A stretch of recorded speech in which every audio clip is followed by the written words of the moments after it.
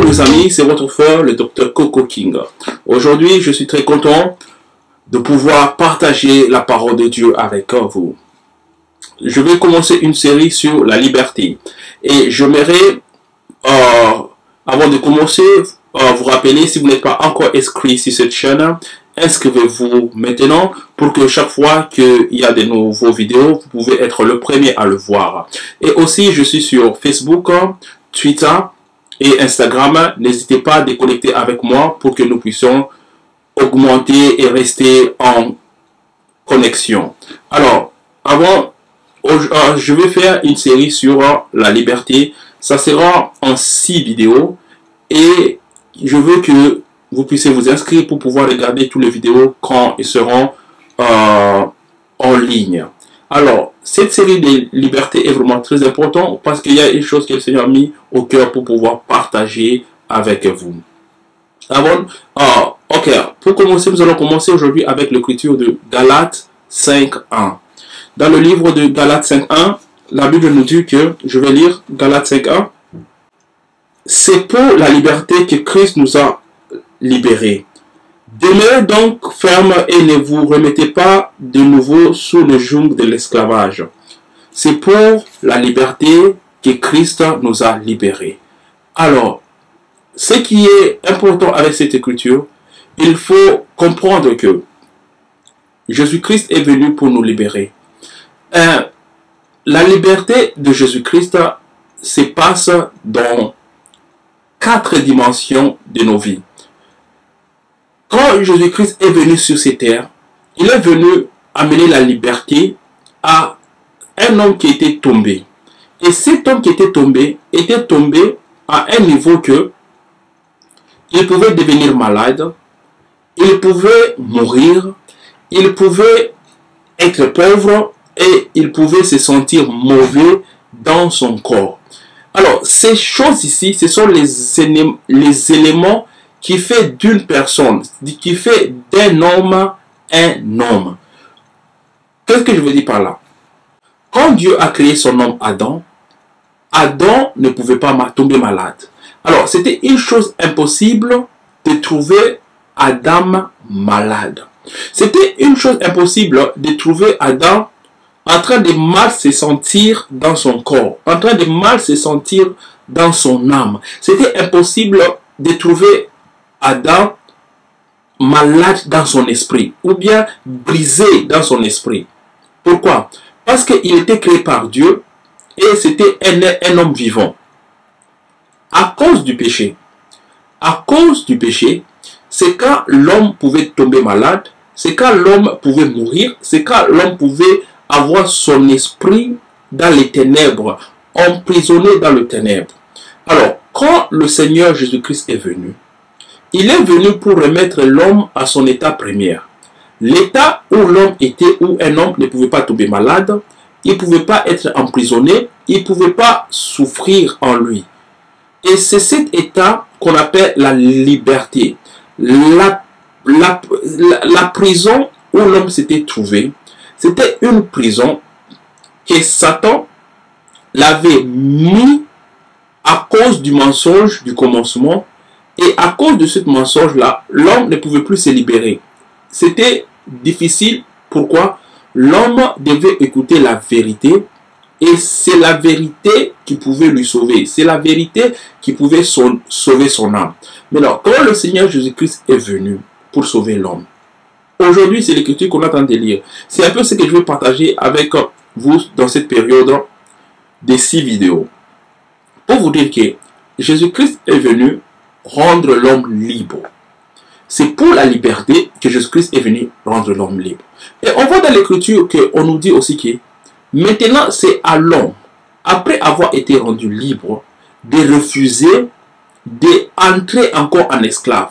Parce qu'un homme peut être libre. Rappelez-vous de l'histoire de quand euh, Dieu est venu libérer les enfants d'Israël en Égypte. Les enfants d'Israël en Égypte, c'était un état c'était un état de l'esclavagisme, c'était un esclave d'emprisonnement où le peuple de Dieu s'était trouvé. Alors, quand Dieu envoie Moïse pour le faire sortir, vous allez voir que Moïse a dit à Pharaon que nous allons sortir, nous allons sortir, nous, nos animaux, et on va même pas laisser les pieds de nos moutons. Donc on va sortir, on va tout prendre, nous, nos femmes, nos enfants, nos bétails et nos richesses.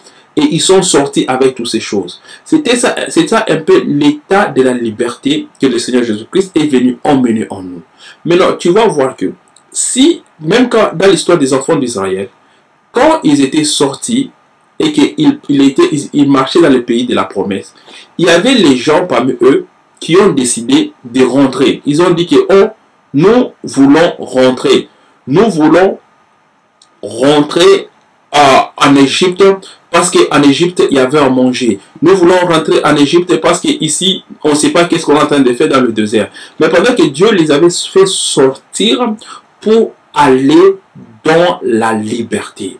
Voilà un peu ce que je veux qu'on puisse retenir avec cette écriture de Galates 7.1. C'est pour la liberté que le Christ nous a délivrés. Alors, quand le Christ vient nous délivrer, la délivrance du Christ arrive en quatre dimensions de nos vies. Toi, comme une personne, tu es quatre. Ça veut dire quoi quatre? Tu es toi, tu, es, tu as un esprit, tu as un corps, tu as une âme, et puis tu as la société autour de toi, là où tu es en train de vivre. Tu as ta famille, tu as euh, ta, femme, tes enfants, ton mari, et ton travail et ta maison. Donc, tout ça, ça fait partir de toi.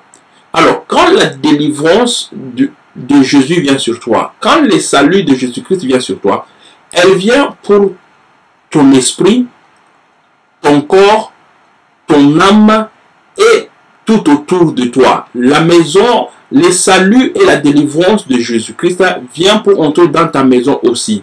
Voilà pourquoi quand Zachée avait rencontré Jésus-Christ et Jésus-Christ est entré dans sa maison, Jésus-Christ a dit que dans, même, dans cette maison aussi, le salut est venu.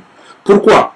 Ce n'est pas la peine d'être sauvé en esprit ou tu es en train encore de vivre, ta maison est encore en Égypte.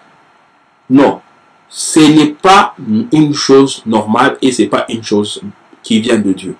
C'est pourquoi la délivrance, même pour les enfants d'Israël, c'était une délivrance où Dieu les avait fait sauver et il voulait qu'ils puissent sortir même de l'Égypte. C'est comme ça la délivrance est venue. Alors, la délivrance de Jésus-Christ, quand elle vient sur toi, elle, oui, Jésus-Christ sauve ton esprit, et le salut dans l'esprit, ça doit entrer dans ton corps. De façon que ton corps devient sauvé aussi, que la maladie n'a plus d'effet sur toi. Et quand ton corps est sauvé, le salut doit être dans ton âme. Que tu puisses te sentir bien dans ton âme. Être délivré aussi dans l'âme. Et quand ton âme est délivrée, cette salut doit être aussi dans la maison. Dans la maison où tu vis, il doit avoir une joie, il doit avoir la nourriture, oui, il doit avoir la nourriture dans la maison où tu es, et il doit avoir la, grâce de Dieu dans la maison où tu es. C'est pourquoi vous allez voir que quand Dieu a créé Adam, Adam ne pouvait pas mourir. Adam ne pouvait pas tomber malade. Alors Dieu n'a pas pris la chose, Adam, et jeté dans le désert. Il dit que tu ne peux pas mourir. Tu ne peux pas tomber malade rien ne peut arriver à ton corps. Alors, va vivre dans le désert. Non.